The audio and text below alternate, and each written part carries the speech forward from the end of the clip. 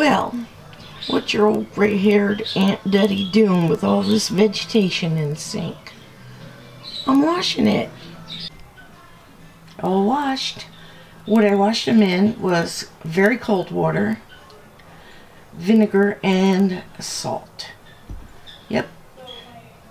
How do I get my broccoli so green? Well, I dunked it into a pot of boiling water that had a lot of salt in it. Just a quick dunk. What's going on here? Neighbors. Just a quick dunk and then throw it in the cold water. And it'll fix that brilliant green color. I'm going to attempt to make that for Crafty Lady's party. Kind of cute, don't you think? My sister sent that picture to me.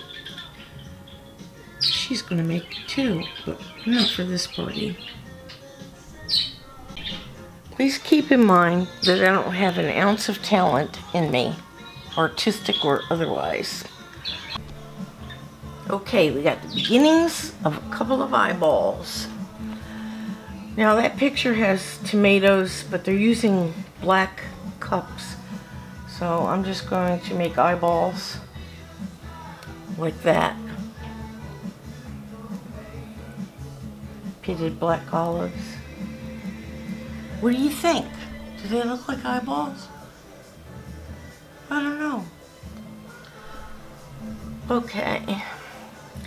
Next, it looks like I have to take carrots and make a head. I have carrots. Truthfully, I really don't have any artistic talent. These aren't baby carrots. Alright, we'll try. I think that needs a space or something between it. Okay. Alright, so I'm going to put these carrots all around the eyeballs in two layers, I hope. Whoops, and I'll be back. A little cross-eyed. Okay, so next, I guess the cucumbers to build his little body. So let me get those. I hope I have enough. I think I have plenty, but I'm going to get a little bored. Oops, I keep banging myself. Okay, so I'm just making his little cucumber body. Think I'm too wide here. So that's half of a cucumber. I thought I wouldn't have enough, but I will. So I'm going to keep slicing cucumbers and making his body. Alright. I told you I had no talent. Now I start thinking, how am I getting it over there without it becoming all, you know, veggie tray instead of hootie Well, you, you gotta put plastic around it real tight and hold it still. Yeah, that's. I'm going to use stretch tight. Now I'm going to make the feet. The feet are also carrots. Let's see, they've got six carrots. That's too big. You know, used to be baby carrots were actually baby carrots, but these are not anything like it. Okay. One, two, three. Uh-oh.